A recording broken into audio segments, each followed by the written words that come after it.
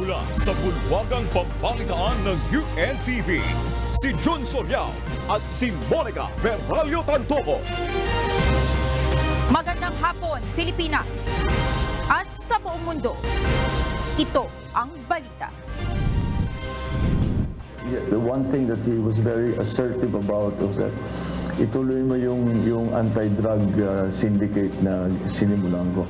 Do it your own way. He really said that. Do it your own way.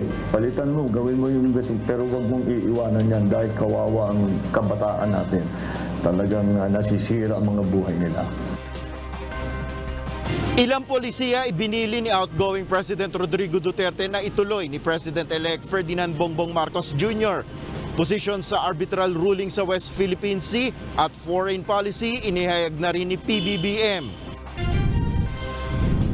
I think that's a, that's an examination we really have to undertake. So whatever fiscal policy is going to be, whatever changes in fiscal policy that we are going to undertake, uh, it will have to come. We have to examine it very, very. We have to think it through properly.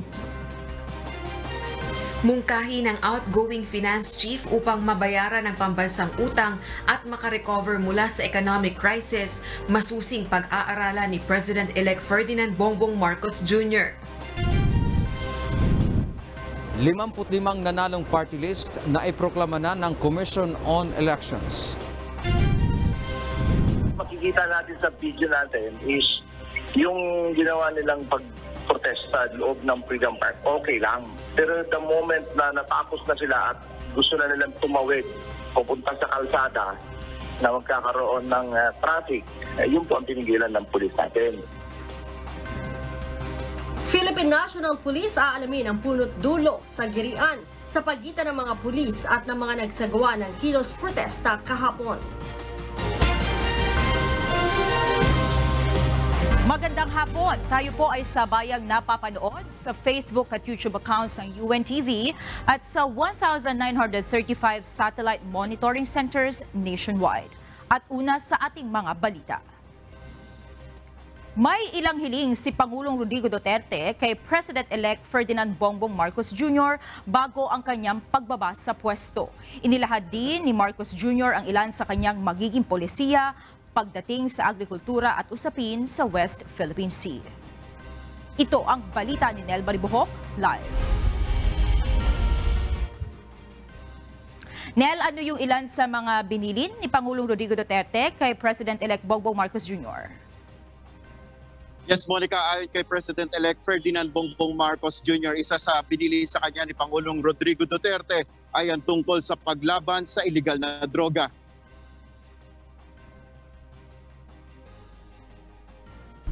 Ito anya ang sinabi sa kanya ni Pangulong Duterte sa mga nakaraan nilang mga pag-uusap. Ayon sa dating senador, maaari anya niyang ituloy ang anti-drug war campaign sa sarili niyang pamamaraan. Yeah, the one thing that he was very assertive about was that ituloy mo yung yung anti-drug uh, syndicate na sinimulan ko. Do it your own way. He really said that. Do it your own way. Palitan mo, gawin mo yung gusto, pero wag mong iiwanan yan dahil kawawa ang kabataan natin. Talagang uh, nasisira ang mga buhay nila. Bukod dito, ayon pa kay Marcos, humiling din ng pangunawa si Pangulong Duterte sa pangangailangan na gamitin ng lahat ng government resources upang mapunan ng pagpopondo ng 500 peso na buwan ng ayuda sa mga mahihirap na pamilya sa gitna ng pagtaas ng presyo ng produktong petrolyo. Ibinahagi naman ng President-elect ang ilan sa kanyang mga plano upang mapababa ang singil sa kuryente. Ayon sa kanya, tinitingnan na nila ang panukala ni Energy Regulatory Commission Chair Agnes De Vanadera na tanggalin ng 12% value-added tax o VAT sa generation charge. That's one of the things we're looking at. Uh, we may, meron meron talagang pwedeng uh, ano eh um, it, we in each uh, even on the spot market in the transmission charge there are areas that pwede pa nating ibaba eh. Uh, so again um, I've been talking to some of the producers, the uh, yung ating sa energy production side natin. Willing naman sila. Naintindihan naman nila that this is an emergency situation. Bukod pa rito, pinag-aaralan na rin ng paparating na bagong administrasyon kung papaano aamyendahan ng Electric Power Industry Reform Act o EPIRA Law. We have to be very strict in enforcing IPIRA. But beyond that, we also have to look at possible amendments to IPIRA. Dahil medyo na-outdated na yung iba, ibang provisions sa, IPIRA. Kasi nagbago na yung sistema. Hindi tinukoy ni Marcos kung anong partikular na probisyon sa EPIRA Law ang nais niyang maamyendahan. Pangunahing layunin ng EPIRA Law na magkaroon ng dekalidad, tuloy-tuloy na supply at mababang singil sa kuryente. Nilagdaan nito bilang batas noong 2001. Ukol naman sa foreign policy ng President-elect, ayon sa kanya tuloy ang pagtatatag ng bilateral relations ng Pilipinas sa China. Sa kabila nito, handa ang President-elect na ipagtanggol ang soberanya ng Pilipinas sa pamamagitan na rin ng patuloy na pakikipag-usap sa China. We're talking about China. And how do we do that? We talk to China cons- consistently um, with a firm voice. And we say that we, eh, hindi naman natin pwedeng girahin. At ang gusto ba natin gawin? Manggigera pa tayo ngayon, papasok pa tayo sa gera. That's the last thing we need right now. Ayon pa kay Marcos, hindi niya isasantabi ang arbitral ruling. Nasa atin na yung uh, arbitral ruling. So we will, uh, of course, we will, we will got we gotten we we have a, a very important, uh, very important uh, ruling in our favor, and uh, we will we will use it to uh, continue to assert what are to assert our territorial rights. It's not a claim; it is already our territorial right, and that is what the that is what the arbitral ruling can can do to help us. Ang arbitration ruling ay naipanalo ng Pilipinas noong 2016 sa Permanent Court of Arbitration na nagsasaad na walang basihan ang pag-aangkin ng China sa halos kabuuan ng South China Sea. Tungkol naman sa agrikultura, ayon kay Marcos Jr., kailangan tulungan ng pamahalaan ang mga maliliit na magsasaka sa pamamagitan na rin ng paggamit ng mga makabagong teknolohiya at estratehiya. COVID changed everything. We cannot depend on the old system. Uh, we cannot depend on what we as on business as usual. That would be a disaster. If you if, the pre-pandemic world is never coming back. That is a, a hard truth that we all have to to accept. Ayon pa kay Marcos Jr., pumuli nilang pag-aaralan ng pagpapatupad ng rice tarification law kung saan dapat anyang matiyak na hindi masasapawan ang mga local farmers dahil sa pag-aangkat. Yan muna ang ating update. Balik sa iyo, Monica. Maraming salamat, Nel Maribuhok. Masusi ng pag-aaralan ni President-elect Ferdinand Bongbong Marcos Jr. ang mungkahi ng outgoing finance chief ng Duterte administration upang mabayaran ang pambansang utang at makabangon mula sa economic crisis. Partikular na ang Fiscal Consolidation and Resource Mobilization Plan kung saan nakapaloob ang pagsusulong ng mas maraming revenues at tax administration. Ito ang balita ni Rosalie Cos. I think that's a, that's an examination we really have to undertake. So whatever fiscal policy is going to be, whatever changes in fiscal policy that we are going to undertake, uh, it will have to come. We have to examine it very, very. We have to think it through properly. Uh, so yung mga pabigla-bigla na tinataas, binababa, uh, hindi natin magagawa yun. Pagpapatatag at pagpapaunlad ng ekonomiya ang prioridad ni President-elect Ferdinand Bongbong Marcos Jr. Kaya naman ang pagbuo ng economic team ang agad niyang pinagtutuunan ng pansin. Ito ay upang matugunan agad ang tumataas na presyo ng mga bilihin, pagpaparami ng trabaho at relief sa business communities na lubos na naapektuhan ng pandemya. Bunsod nito, masusing pag-aaralan ng President-elect ang mga mungkahi ng outgoing finance chief, partikular na ang Fiscal Consolidation at Resource Mobilization Plan. Nakapaloob dito ang pagsusulong at pagpapatupad ng mga bagong buwis, pagsasantabi ng personal income tax reductions, pagpapalawig ng value-added tax coverage at iba pa.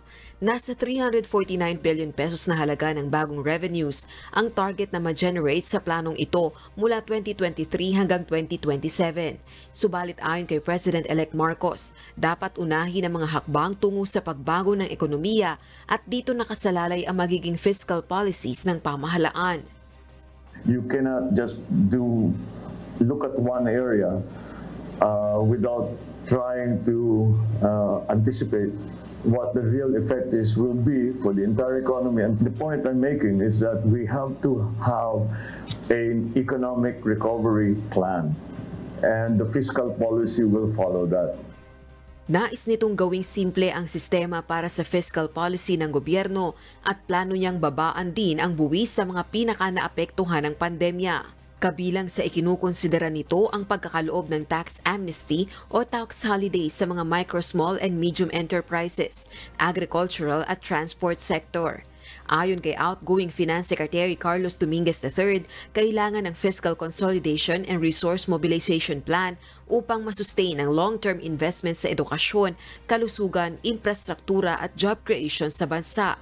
Subalit batay sa Malacanang, pinauubaya na nito sa economic team ng President-elect ang pagtugon sa issue at gagawing mga hakbang kaugnay ng mga mapagkukunan ng resources ng pamahalaan.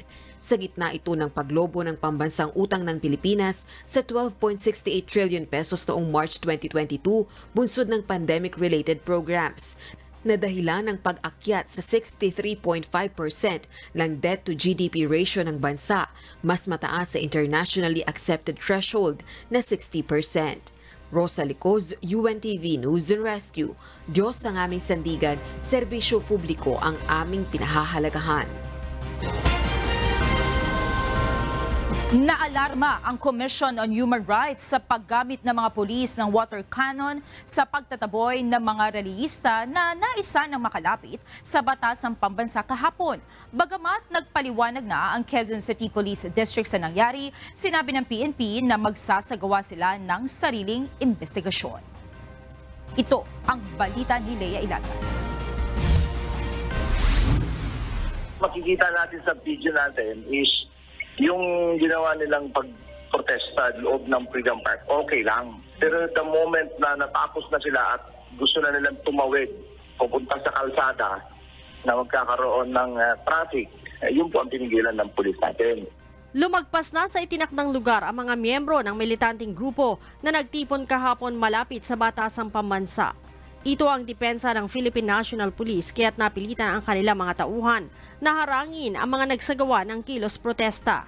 Ayon kay Quezon City Police District Director, Police Brigadier General Remus Medina, tanging sa Freedom Park lang pinapayagan ang mga ito, ngunit nagtangka silang makalapit kung saan isinasagawa ang official canvassing at proklamasyon ng nanalong presidente at vice-presidente. Napilitan na rin aniya ang mga tauhan ng Bureau of Fire Protection na gamitan ng water cannon ang nagkikilos protesta dahil naging marahas na ang mga ito.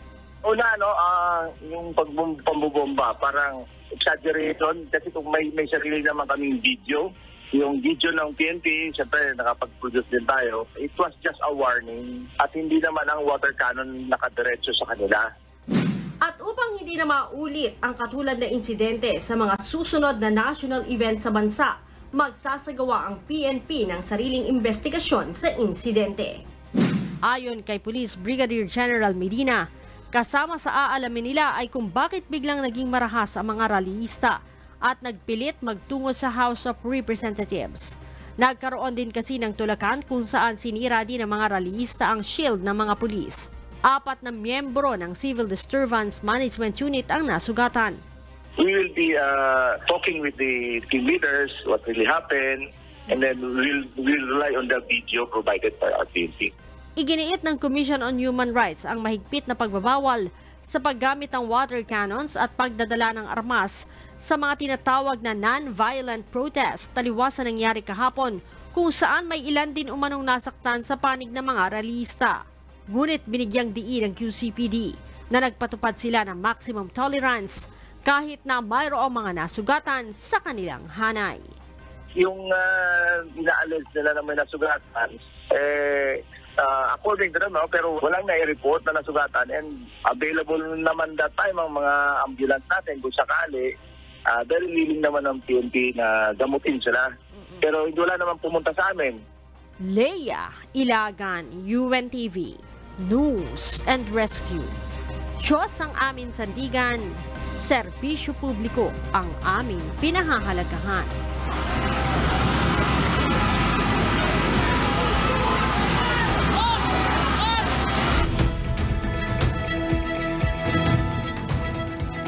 Kinundinan ng iba't ibang personalidad at world leaders ang nangyaring school massacre sa Texas, USA. Naapektuhan din ang imahe ng Estados Unidos, bunsod ng krimen. Ito ang balita ni Ross Salicos.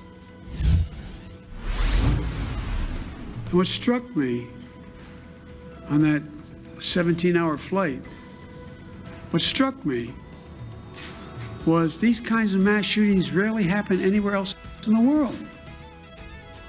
Nagpahayag ng pagkasuklam ang marami sa nangyaring pamamaril sa mga estudyante sa Texas, USA. Bunsod ng insidente, nagkaroon ng pagdududa kung may kapasidad pa ang Estados Unidos na isulong ang sarili bilang isang global model. Mismong si US President Joe Biden na ikinakampanya ang demokrasya bilang isang key priority, batid ang pinsala ng Texas school shooting sa reputasyon ng Amerika ikinabigla at ikinalungkot ni United Nations Secretary General Antonio Guterres ang nangyaring mass shooting. Nagpaabot na rin ito ng taus-pusong pakikiramay sa mga kaanak ng mga biktima ng pamamaril. Si Ukrainian President Volodymyr Zelensky na umaasa sa US weapons upang labanan ng Russian invasion, tinawag na terrible ang peacetime deaths. Nakikidalamhati naman si French President Emmanuel Macron sa sinapit ng mga bata at guro Si New Zealand Prime Minister Jacinda Ardern naman na bumisita sa Estados Unidos, iginiit kung papaanong hinigpitan ng kanyang bansa ang gun laws matapos ang mass shooting incident sa Christchurch noong 2019 kung saan 51 ang nasawi. I can only reflect on our experience. But if there is any message that I can share from that and take what you will from it, I believe change is possible. I do. Even on the most difficult of political issues, when you have will amongst your people, then change is possible. Samantala, kwestiyon naman ni Chinese Foreign Ministry spokesperson Wang Wenbin ang Estados Unidos kung papaanong magiging tunay na makapagmamalasakit sa human rights situation ng ibang bansa kung hindi nito matugunan ang sariling suliranin. Rosa Licoz, UNTV News and Rescue. Diyos ang aming sandigan, serbisyo publiko ang aming pinahahalagahan. Muli na naman umanong naglunsad ng missile testings ang North Korea kahapon ayon sa ulat ng South Korea.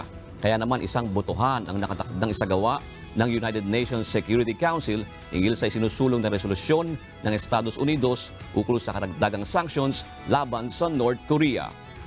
Ito ang balita ni Ray John Bolivar. Nakatakdang idaos bukas ang botohan ukol sa isang United Nations Security Council resolution na isinusulong ng Estados Unidos sa pagpapataw ng mas mahigpit na sanctions laban sa North Korea. Ang hakbang ay kasunod ng paglulunsad kahapon ng Democratic People's Republic of Korea o kilala rin bilang North Korea sa karagatan sa east coast nito ng tatlong missiles kabilang ang pinaniniwala ang pinakamalaking intercontinental ballistic missile ng bansa, ang Wasong 17. Isinagawa umano ang missile testing ilang oras bago ang pagtatapos ng Asia trip ni President Joe Biden kung saan bahagi ng pagbisita nito sa South Korea at Japan ang muling pinagtibay na pangakong pagtatanggol sa dalawang kaalyadong bansa laban sa North Korean nuclear threat. Ayon sa isang US official, mas mapipigilan umano ng binabalangkas ng resolusyon ang kakayahan ng North Korea na maisulong ang ipinagbabawal na pagbuo ng mga armas na magdudulot ng malawakang pagsira at mga programa hinggil sa paglulunsad ng ballistic missiles Kabilang sa nilalaman ng resolusyon ang pagbabawas sa pag-aangkat ng crude oil ng North Korea na mula sa 4 na milyong bariles kada taon, ibababa ito sa 3 milyon na lamang. Gayon din ang pagbaban sa pag-aangkat ng mineral waxes, mineral fuels at mineral oil ng bansa. Taong 2006 pa nagsimulang patawan ng US sanction ang North Korea na nagpatuloy at lalo pang humihigpit sa pagdaan ng mga taon. Samantala, inaasahang posibleng umanong gamitin ng Russia at China ang kapangyarihan ng veto o kapangyarihang pigilan o harangin ang pagpasa ng panukalang batas gaya ng isinusulong ng Amerika na karagdagang sanctions laban sa North Korea. Region Bolivar, UNTV News and Rescue. Diyos ang aming sandigan. Serbisyo publiko ang aming pinahahalagahan. Natanggap na ng nasa 70% ng mga guro at school staff na nagsilbing mga electoral board noong eleksyon ang kanilang honoraria ayon sa Department of Education. Samantala, posible na rin matanggap bukas ng ilang BIs ang dagdag na honoraria para sa mga nag-overtime duty noong eleksyon, munsod ng pumalyang vote counting machines at depektibong SD cards mula sa COMELEC. Ito ang balita ni Janice Inhente. Nag-deadline tayo ng May 24. Uh, pinalo po na agad yan ng May 23. Tinanong ko na kung ano ang sitwasyon o status ng ating honoraria. So far naman po, wala kami reklamo pa na-receive sa ating mga guro at mga ibang poll workers. Bagamat hindi pa lahat ng mga guro at school staff na nagsilbing electoral board at support staff noong nakalipas na eleksyon ang nakatanggap na ng honoraria, masasabi pa rin ng Department of Education na on time na ipamahagi ng Commission on Election ang kabayaran para sa kanilang serbisyo noong nakaraang halalan. Ayon kay Director Marcelo Bragado, ang Election Task Force Head ng Department of Education, as of May 23, nasa 90% ng kabuuang 647,000 812 poll workers ang nakatanggap na ng honoraria. Generally, ang para sa akin ay on time po ito. Kung meron mang hindi po nakuha, baka ilan-ilan lamang at hindi pa ito nai-report sa amin. Pero hanggang wala pa pong report sa amin, we assume na halos lahat uh, nakuha na po, nabayaran na yung ating mga teachers. Samantala, bukas naman ay inaasahang may pamamahagi na ng COMELEC ang karagdagang bayad sa mga poll workers na nag-extend ng oras ng kanilang duty noong May 9 dahil sa aberya sa vote counting machines at SD cards. Ayon kay COMELEC Commissioner Attorney George Erwin Garcia, isinasapinal na nila ang listahan ng mga guro sa mga presinto na dapat makatanggap ng dagdag na honoraria. Kabuang 20 million pesos na pondo ang inaprubahan ng COMELEC kung saan ang bawat isa ay makatatanggap ng tig 2,000 piso na overtime pay. Ayon sa COMELEC, nasa higit 1,300 na vote counting machines at 700 SD card ang nagkaroon ng aberya noong eleksyon o tinatayang aabot ng higit 2,000 mga presinto.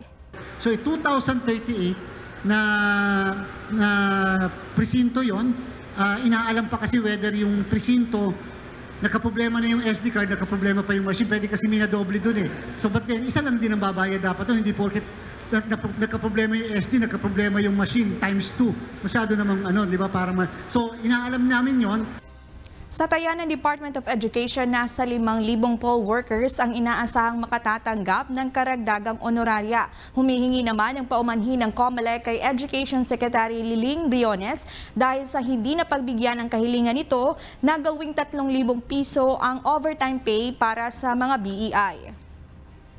Humingi lang kami ng dispensa sapagkat yung uh, DepEd si Secretary uh, Liling Briones ay nagsabi, nag-request sa amin na baka pwedeng 3,000 pesos. Pero pasensya na po talaga sa ating mga guro. Ulitin ko po para lang sa kaalaman ng lahat. Hindi po kasi pwede magbayad ng overtime pay ang Commission on Election sa mga guro natin, electoral boards, kasi hindi po sila empleyado ng Commission on Election. Gustuhin man po namin, bawal po sa auditing rules at saka sa DBM circular. Janice Inhente, UNTV, News and Rescue. Diyos ang aming sandigan, serbisyo publiko, ang aming pinahahalagahan. Kinumpirma ng Department of Agriculture na mayroong shortage ng supply sa uri ng patatas na ginagamit sa paggawa ng french fries na kadalasang ibinibenta sa mga restaurant.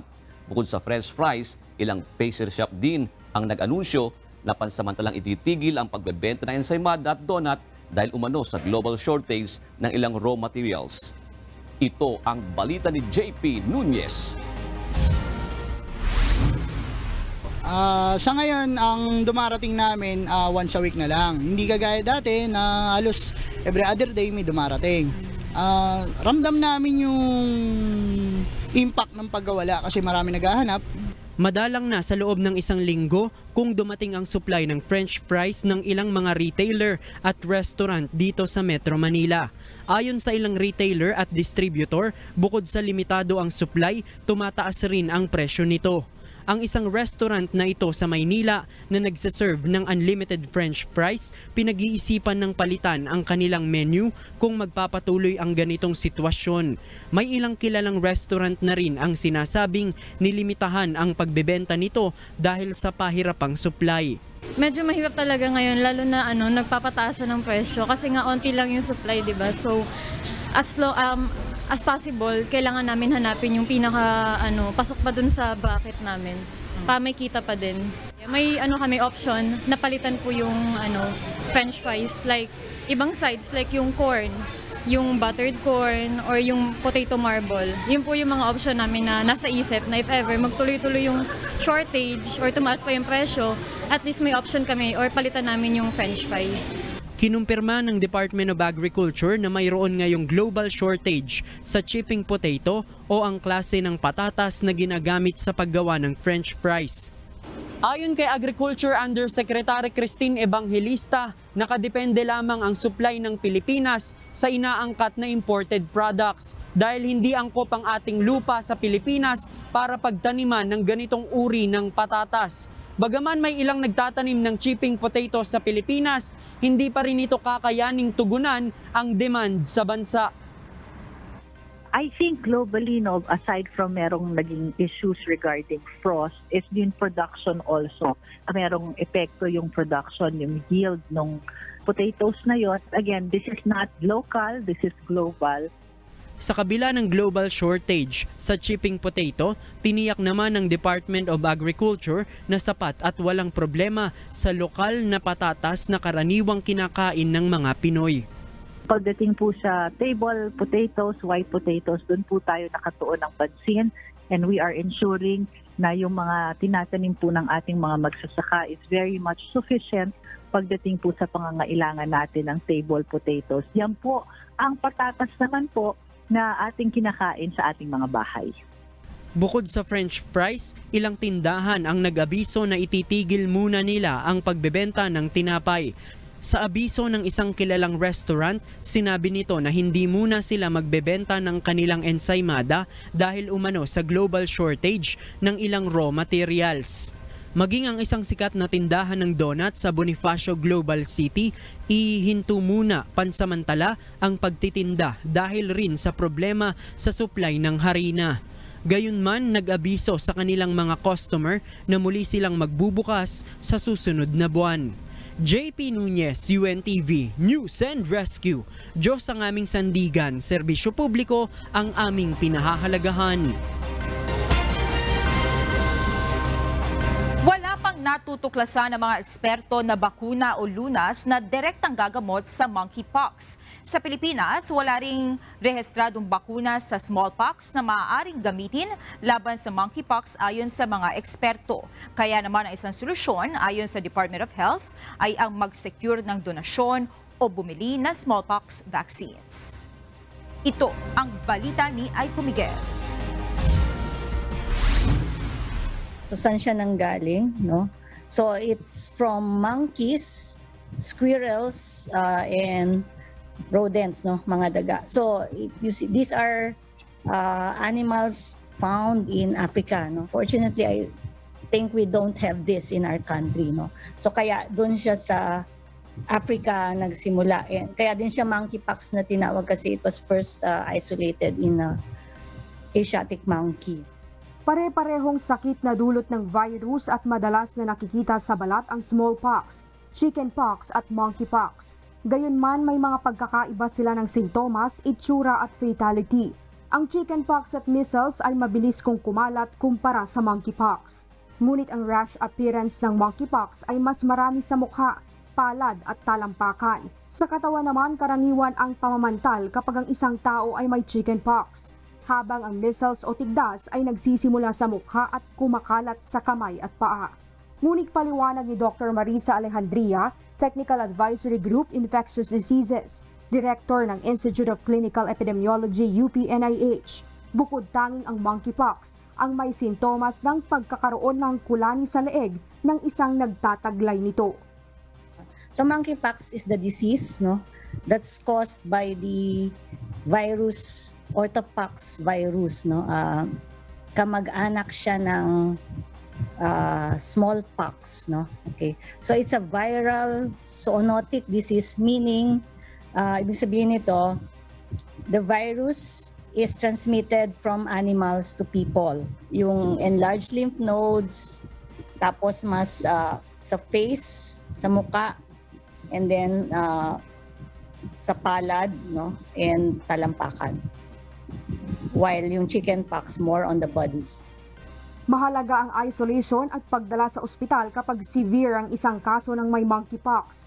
Hindi ito sexually transmitted o gay disease, ngunit skin to skin o close contact talaga ang paraan ng hawaan nito.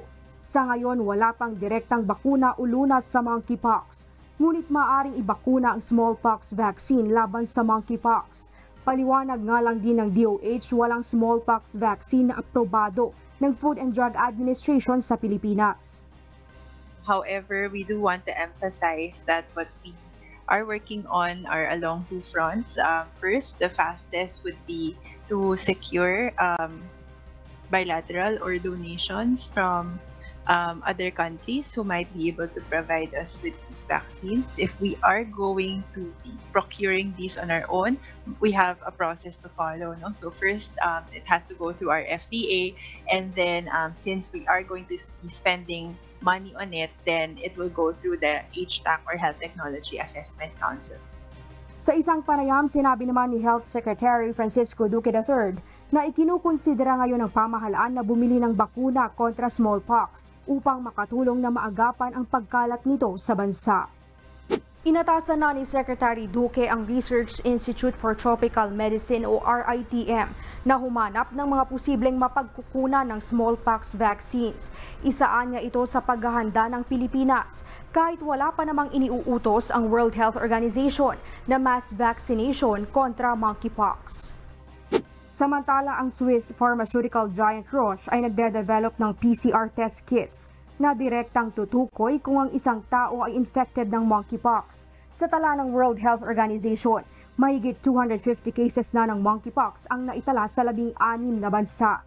Dito sa Pilipinas, wala pang naitatalang kaso ng monkeypox. Sa isang pahayag ng DOH ngayong hapon, naghahanda ang mga DOH officials at resource persons para sa koordinasyon at pagpapaigting ng border strategy at umiiral na health protocol sa bansa upang matiyak na handa ang Pilipinas sa monkeypox at sa pagdevelop pa ng kasalukuyang COVID-19 pandemic. Aiko Miguel, UNTV News and Rescue. Diyos ang aming sandigan. Serbisyo publiko ang aming pinahahalagahan. Umabot na sa dalawang daan at labing siyam ang bilang ng kumpirmadong kaso ng monkeypox sa buong mundo. Bata ito sa ulat ng European Center for Disease Prevention and Control o ECDC. Nakapagtala na ng at least tig isang kaso sa mahigit isang dosena na karamihan ay nasa Europe. Sa pahayag ng ahensya, ito ang unang pagkakataon na ang chains of transmission ay naiulat sa Europe na walang tukoy na epidemiological links sa West o Central Africa kung saan endemic ang monkeypox. Sa United Kingdom na naiulat ang unang kumpirmadong kaso noong early May, mayroon ng 71 cases. Sa Spain ay 51 cases, Portugal ay 37, samantalang 15 sa Canada at 9 sa United States of America.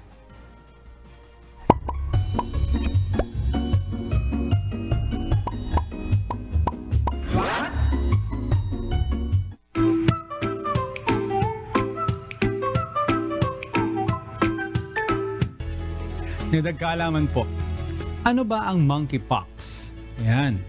Ang monkeypox ay isang virus na nagsimula po sa mga wild animals gaya ng rodents at unggoy.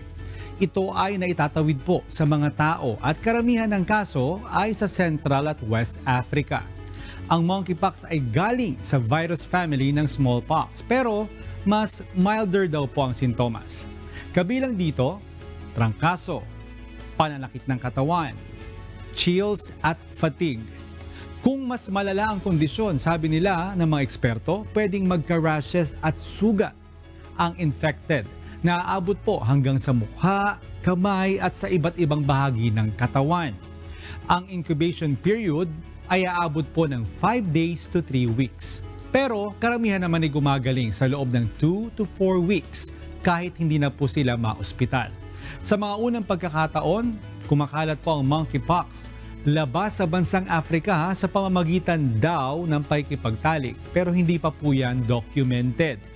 Pero ang sinisigurado, ito ay naihahawa sa pamamagitan ng close contact, body fluids at kahit daw po sa damit at bed sheets. Sa ngayon, wala pa naman pong kaso sa Pilipinas pero kailangan po natin ng dobleng pag-iingat. Sana'y may natutunan kayo at laging tatandaan, mapalad ang tao na nakakasumpong ng karunungan at ang tao na nagtatamo ng kaunawaan.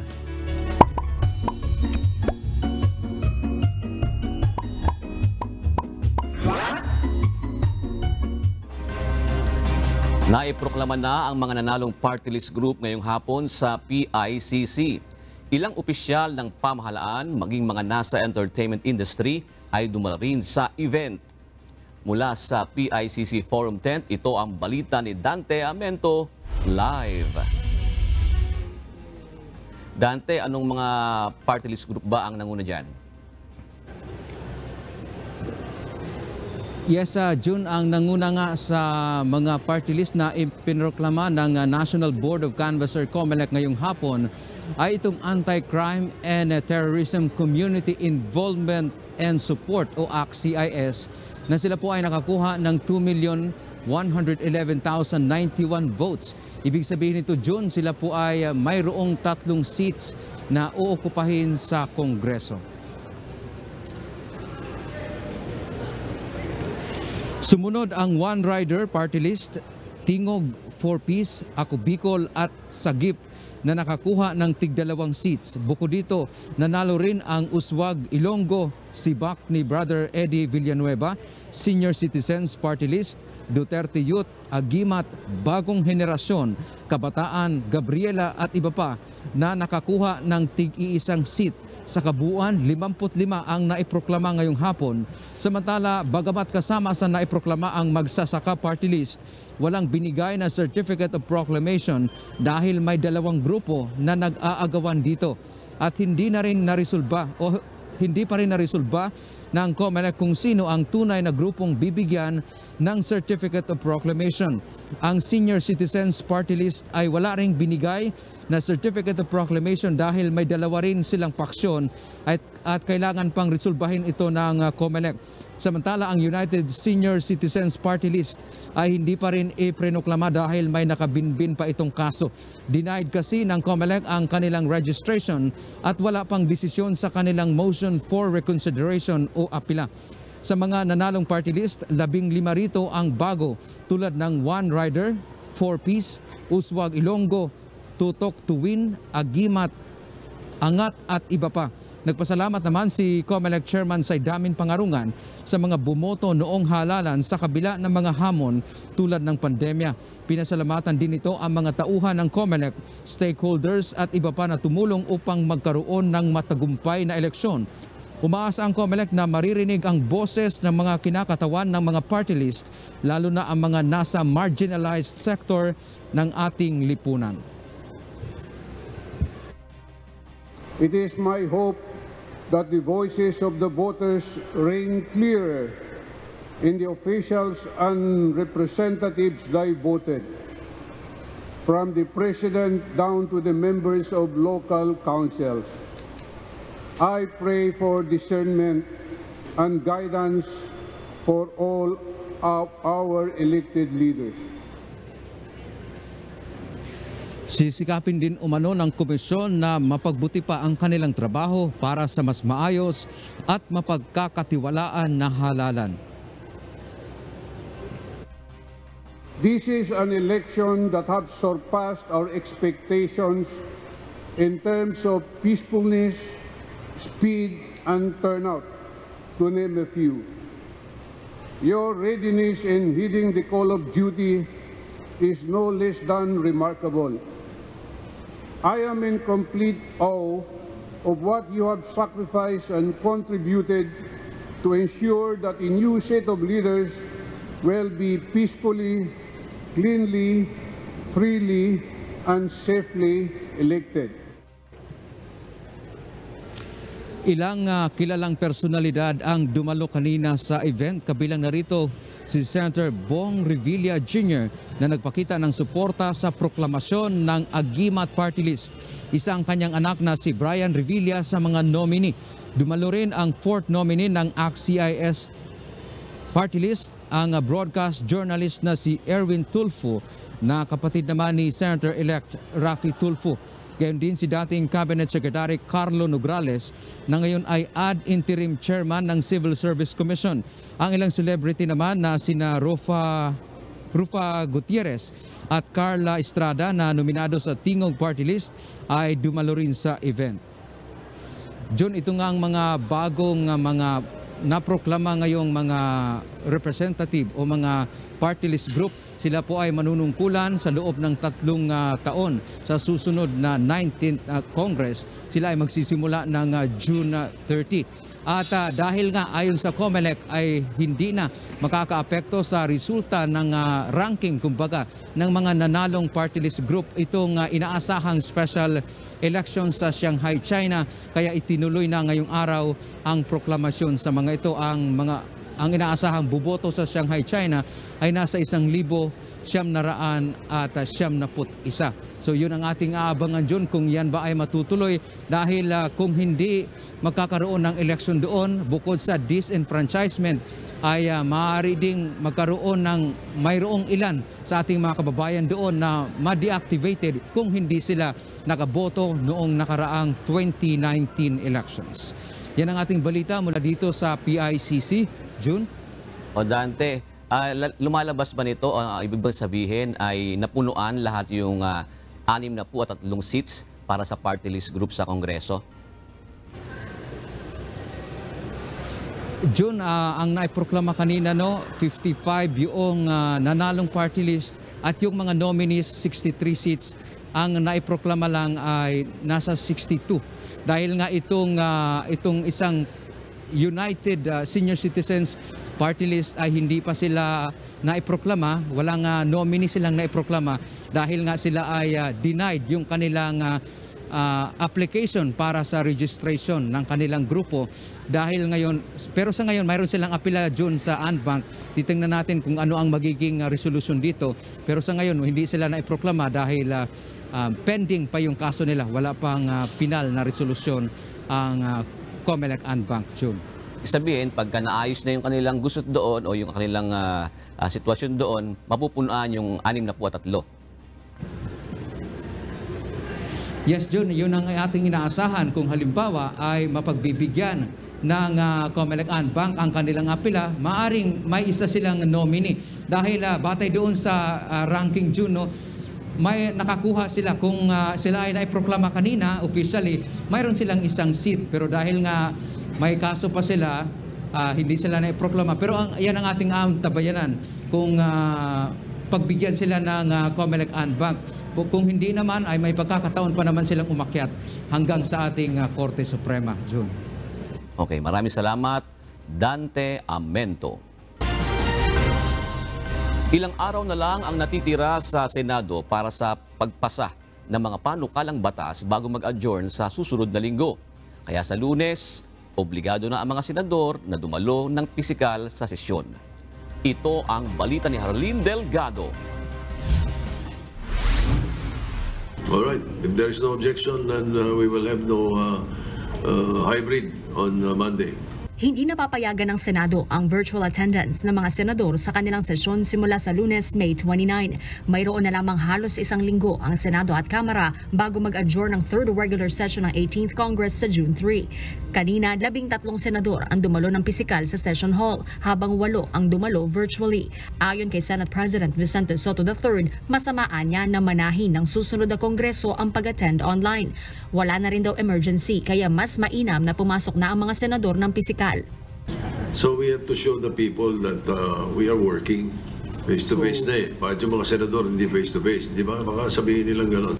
Kung yung anak ko nag-face to face na, siguro pwede na din tayo mag face to face. Mayo ng taong 2020 na magsimulang payagan ng Senado ang teleconferencing para sa plenary sessions at committee hearings dahil sa tumataas na kaso ng COVID-19. Matatanda ang nag-viral pa noon si Senator Ronald Bato de la Rosa matapos sabihing masarap anya ang buhay habang dumadalo virtually. Para sa ilan, tila insensitive ito sa mga naghihirap sa gitna ng pandemya. Sarap ng buhay. Sarap ng buhay. Ganito tayo palagi, ha? Sa isang panayam noon sa UNTV, dumepensa si De La Rosa at sinabing ang kanya umanong tinutukoy ay ang mabilis na takbo ng kanilang sesyon sa gitna ng hybrid setup.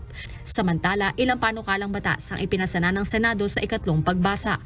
Kabilang narito ang Senate Bill 2501 na layong amyendahan ang Revised Penal Code para magtakda ng mas matinding parusa sa walang habas na pamamarilo indiscriminate firing.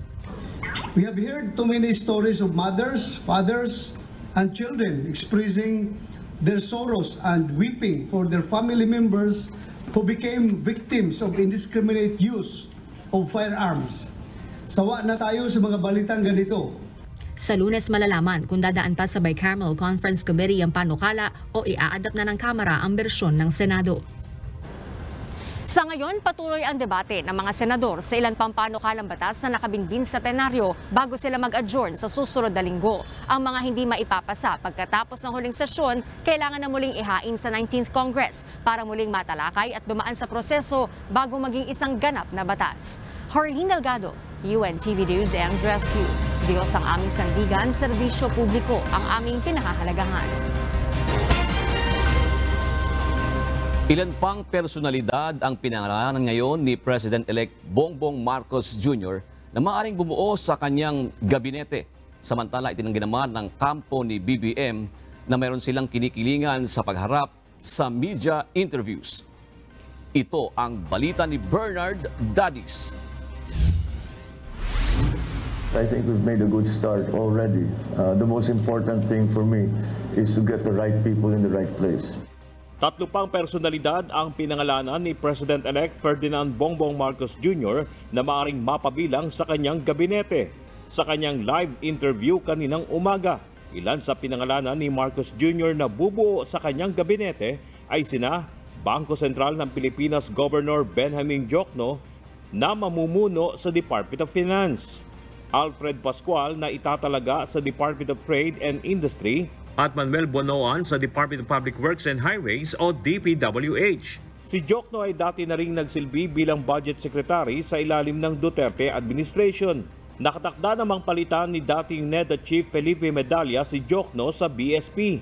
Si Bonoan naman ang kasalukuyang presidente at Chief Executive Officer ng SMC Tollways habang former president naman ng University of the Philippines si Pascual at isang international development banker at finance expert. Buo ang tiwala ni Marcos na magagaling ang bubuo sa kanyang economic team. I know the economic team is critical and that is what people are what people are uh, looking to. Uh, I think we have found uh, the best people for it um, who are able to to look forward and to anticipate what the conditions will be for the Philippines within the rest of the world uh, in the coming years.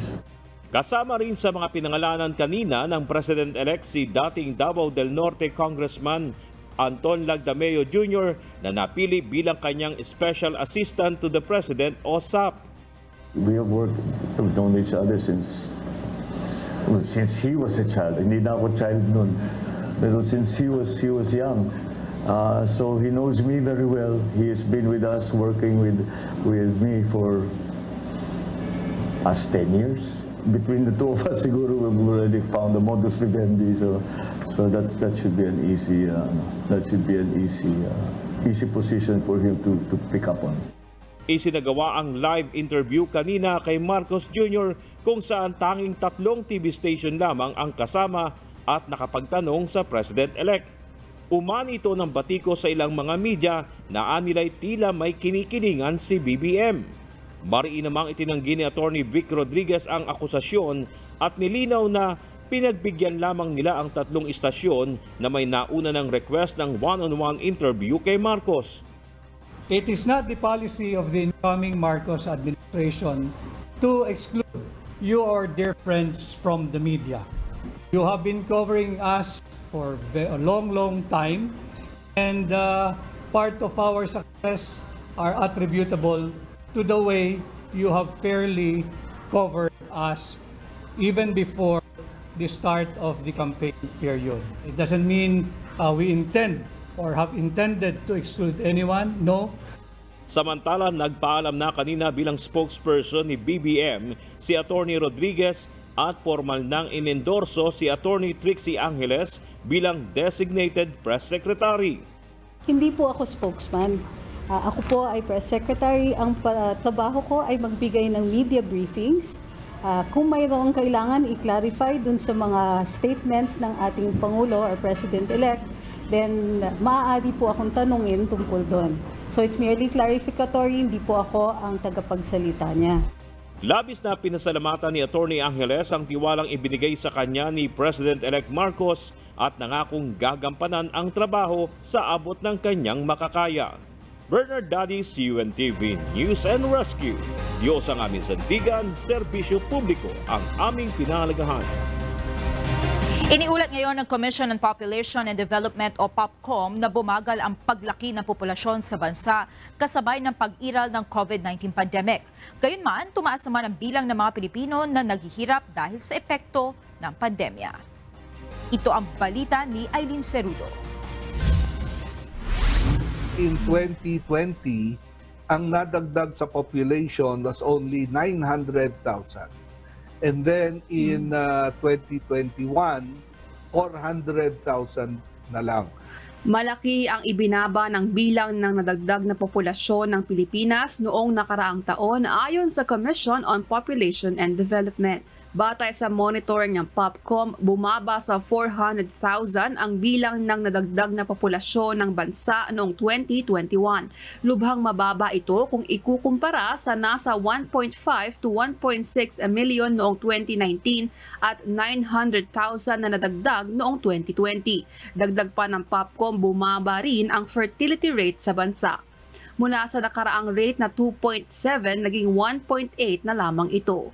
Paliwanag ni Popcom Undersecretary Juan Antonio Perez III, mas pinili ng ilang mga mag-asawa na umiwas muna sa pag-aanak dahil sa epekto ng pandemya lalo na at marami ang nawala ng trabaho at hirap sa mga gastusin ng pamilya. That's why we're proposing to the POPCOM board na pag-isipan yung uh, pag uh, pagkaroon ng matatawag nating living wage uh, or a cost of living, uh, a wage that addresses the cost of living. So we hope ma-take up yan uh, sa coming administration Bagaman bumaba ang bilang ng populasyon sa bansa, ikinababahala ng POPCOM ang pagtaas ng bilang ng mga Pilipinong naghihirap kumpara noong mga nakalipas na taon dahil sa epekto ng COVID-19 pandemic. Batay sa datos ng POPCOM noong 2018, nasa 4 million na mga pamilyang Pilipino ang sinasabing naghihirap at tumaas pa ito sa 4.6 million noong 2021. Ayon kay Yusek Perez, katumbas ito ng nasa 26 million na mga Pilipino o 23% ng kabuuang populasyon sa Pilipinas. Paliwanag ng POPCOM, maituturing na naghihirap ang isang Pilipino kung nakakatanggap lamang ito ng 12,000 pesos pababa na kita kada buwan o mas mababa sa minimum wage sa kanilang lugar. Binigyan diin ng opisyal na sa gitna ng demographic transition at pagtaas ng poverty rate, dapat magkaroon ng tinatawag na living wage ang bawat manggagawa. Makakatulong din anya ito sa paglago ng ekonomiya ng bansa. Despite uh, the fact na COVID caused so much uh, hardship, maraming excess mortality, our demographic picture improved. We now have uh, smaller family sizes. Maraming Pilipino nag-family planning during COVID. Eileen Cerudo, UNTV News and Rescue, Diyos ang aming sandigan, serbisyo publiko ang aming pinahahalagahan. Ang muling pagpapatupad ng dagdag singil sa PhilHealth simula sa susunod na buwan. Git ng PhilHealth, kailangan na itong maipagpatuloy upang matiyak ang tuloy-tuloy na benepisyo ng mga miyembro. Ito ang balita ni Asher Kadapan Jr. Yung bill namin last uh, May 11, umabot siya ng 90,000. Wala pa yung uh, professional fee. Ngayon, yung deduction namin sa PhilHealth, umabot siya ng 18,000 plus. Malaking tulong para sa pamilya ni Abby Biongan ang tulong na naibibigay sa kanila ng PhilHealth lalo pa sa gitna ng pandemya. Bukod kasi sa bayarin sa ospital, may mga gamot na kailangan pang bilhin at iba pang medical expenses para sa karamdaman ng kanyang anak. Kaya pabor din siya sa pagtaas ng singil ng PhilHealth para sa kanilang kapakinabangan. Para sa akin, sa katulad namin na parang middle family, okay lang sa amin as long na nagagamit ng tama yung, yung funds ng PhilHealth. And also sana hindi lang sa hospitalization makadag, makabawas yung PhilHealth. Sana rin sa mga procedures na iba like sa laboratories. Ayon sa Philippine Health Insurance Corporation, magsisimula na ulit silang ipatupad ang mas mataas na rate sa buwan ng kontribusyon simula sa Hunyo. Ito ay matapos pansamantalang matigil noong nakarang taon ang implementasyon ng contribution height na alinsunod sa Universal Healthcare Law. Tuloy na tayo doon sa uh, pagtupad ng uh, Universal Healthcare Law Contribution Schedule. Uh, it will start uh, January, however, June pa lang kasi uh, magre-reflect na siya doon sa aming uh, IT system for the employed, the EPRS. Ayon pa kay PhilHealth spokesperson Dr. Shirley Domingo, pag-uusapan pa kung paano ang mga adjustment na hindi nasingil ng state health insurance. Ngunit para sa rate increase simula noong Enero, kokolektahin na rin ito ng PhilHealth sa mga miyembro sa mga susunod na buwan hanggang Disyembre. Para sa mga may buwan ng sweldo na 10,000 o mas mababa pa, ay isang daan lang ang dagdag singil na hahatiin pa ng empleyado at employer. Ibig sabihin, 50 pesos lang ang karagdagang ibabayad ng mga empleyado uh, marami tayong uh, nakalinya na uh, benefit development, mga bagong benefits na na-introduce natin uh, para maka tulong sa ating mga kababayan at saka pag-expand ng mga existing natin benefits. Tiniyak naman ng PhilHealth na ang mga karagdagang bayad sa kontribusyon ay magdaragdag din ng benepisyo sa mga miyembro. Asher Kadapan Jr., UNTV News and Rescue, Diyos ang aming sandigan, serbisyo publiko ang aming pinahalagahan. Ilang mga lugar sa bansa ang nag-umpisa na ng pagbabakuna ng mga bata laban sa iba pang sakit. Ito ang balita ni Lalene Moreno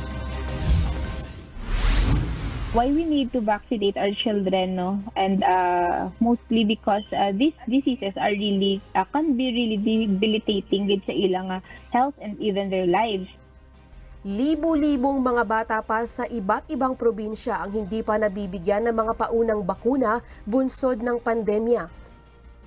Kaya naman maliban sa National Capital Region, nag-umpisa na rin ang rollout ng chikiting vaccination sa iba't ibang mga lugar sa bansa. Ilan sa mga bakuna na ibinibigay sa mga immunization ay ang Bacillus calmette-guerin, Pentahib, pneumococcal conjugate vaccine, oral at inactivated polio at measles, mumps, rubella vaccine. Sa Western Visayas, mahigit 50,000 bata ang target ng DOH na mabakunahan simula ngayong araw. Naglunsad na rin ang routine and catch-up immunization sa Butuan City, Batangas, Cagayan, Davao City, Surigao at Bicol. Ang Cavite, Zamboanga del Sur at Cebu na kabilang sa mga priority provinces ay nagsimula ng magbakuna noon pang nakaraang buwan. Ayon sa Department of Health, malaki ang maitutulong ng bakuna sa isang bata upang maiwasan ang iba't ibang mga malubhang sakit, disability o pagkamatay. Ilan sa mga sakit na maiiwasan kapag ang isang bata ay kumpleto sa immunization ay ang tuberculosis, diphtheria, hepatitis B, tetanus, poliomyelitis, measles, rubella at mumps. Ayon pa sa DOH, ligtas din ang mga bakunang ito dahil pasado sa clinical trial at matagal nang ginagamit. Minor lamang ang side effects nito gaya ng rashes, lagnat at pananakit sa injection site. Sa mga magulang o guardian, magipag-unayan lamang sa kanilang rural health unit para magpa-immunize.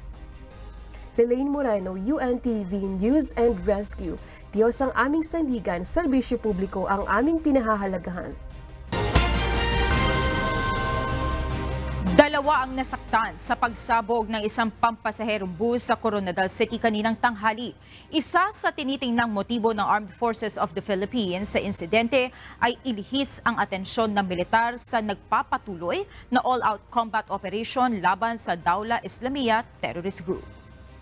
Ito ang balita ni Val Villaflor. Just recently kasi nagkaroon tayo ng major combat operations dito sa area ng Joint Task Force Central. So, maaring ginagawa nila yung diversion. Posibleng bahagi lamang ng diversionary tactic ng Daula Islamia Terrorist Group ang pambobomba sa isang unit ng Yellow Bus Line Incorporated sa Coronadal City, South Cotabato kaninang pasado alas 12 ng tanghali. Napuruhan sa inilunsad na artillery at airstrike ng Armed Forces of the Philippines ang puwersa ng bandidong grupo nitong lunes kung saan isang miyembro ang napaslang. Ayon kay AFP West Mincom spokesperson Major Andrew Linaw, dalawang babaeng pasahero ang hinihinalang naglagay ng bomba sa bus. Isang tricycle driver at isang civilian pa ang nasugatan habang nasa likuran ng sumabog na bus. Dalawang wounded na civilian sumunod doon sa ano, uh, yellow bus line is uh, na ano natalsikan ng uh, splinter nung gawa ng pagsabog. Hunyo 2021 anim ang sugatan habang tatlo ang nasawi sa panununog ng isang bus ng Yellow Bus Line Incorporated, extortion o pangingikil ng Alcobar Extortion Group ang motibo sa panununog ayon sa PNP. Val Villaflor, UNTV News and Rescue. Diyos ang aming sandigan, serbisyong publiko ang aming pinakahalagahan. Narito naman ang salita ng Diyos na ating sandigan mula sa aklat ng Santiago 5 at 16 na nagsasabi, Magpahayagan nga kayo sa isa't isa ng inyong mga kasalanan at ipanalangin ng isa't isang iba upang kayo'y magsigaling. Malaki ang nagagawa ng maningas na panalangin ng taong matuwid.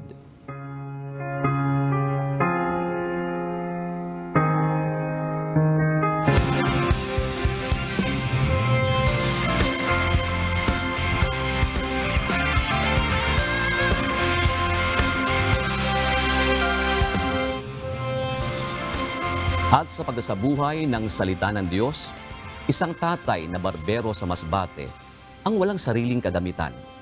May pisikal na kapansanan man, nagsisikap sa simpleng hanap buhay para sa pamilya. At nang humiling, ay nagpasalamat sa Diyos dahil ang natanggap ay higit sa saklay at suklay.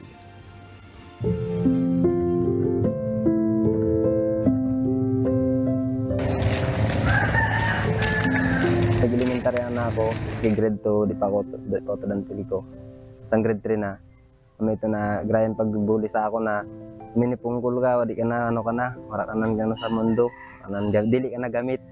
Labindalawang taon nang iisa na lang ang binting ipinanlalakad ni Gerald sa kabila ng pisikal na kalagayan, natutunan niyang maging matatag mula pagkabata.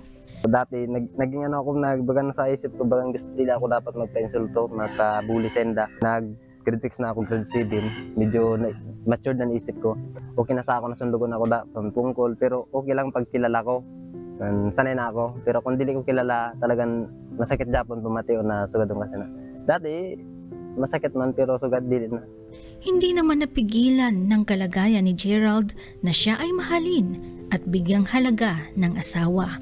Dili man po ako nag, uh, nagkita sa iya, labas sa kadyo at hindi sa ugali niya. Ay, okay, maayos man po ang ugali niya. Ay niya po patunayan kung ano iya kakayahan na ano. Dili ko po gin stake na kung ano man po sabihin sa nibal katao na ang asawa ko rin sina. Ginapatunayan niya sa amon na kaya niya kami buhay. Bisan irog siya sina. Dili niya kami napabayaan. Bisan dili niya po kaya himuon, ginahimo niya. Para kay Gerald, higit sa saklay, ay meron siyang Diyos na malalapitan at kasama sa bawat paghakbang. Bilang may kapasanan na kita, tapos may kinikilala kitang Diyos. Kung may trabaho ka, ba trabaho ka, ba panalangin ka sa Diyos. Mangayo ka sa namin na imatan ka, sa wala na ura adlaw mo, na gabayang ka, kung ano man ang mangyari sa buhay mo, hindi nang bahala, magabay sa iyo. Barbero si Gerald, ngunit walang sariling gamit. Kung meron sanang kagamitan na higit sa gunting at suklay, mas lalaki ang kita at lalong magagampanan ang tungkulin na maitaguyod ang pamilya. Gerald, yung request mo na gamit para sa paggupit mo ay granted na. Yan. At syempre, yung tungkol naman sa nire-request mong artificial leg ay ipaprocess po yan ha, uh, Gerald. Dahil dito sa Serbisyong Bayanihan, may partner na nagbibigay naman ng tulong doon sa mga nawala ng binti at sila po ang nagpo-provide niyan ng libre. Salamat sa Diyos, Gerald!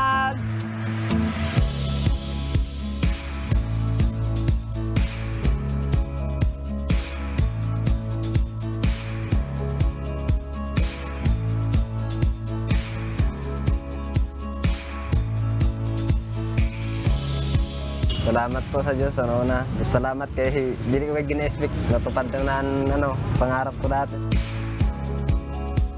Salamat sa panahon na sa Panginoon.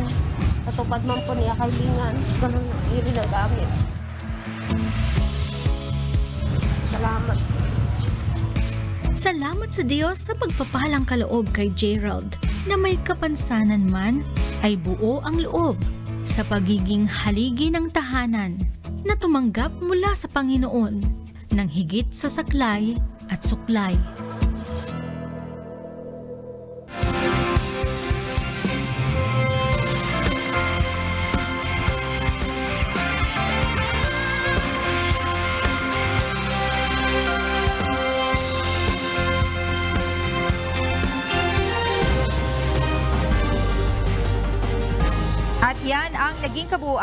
Ating balitaan ngayong gabi. Aming inilahad ng buong katapatan kung paano namin nasaksihan. Kayo'y makapagtitiwala ang aming nakita at narinig ang aming ibinabalita. At dito sa UNTV, Diyos ang aming sandigan, serbisyo publiko ang aming pinahahalagahan. Magandang gabi po.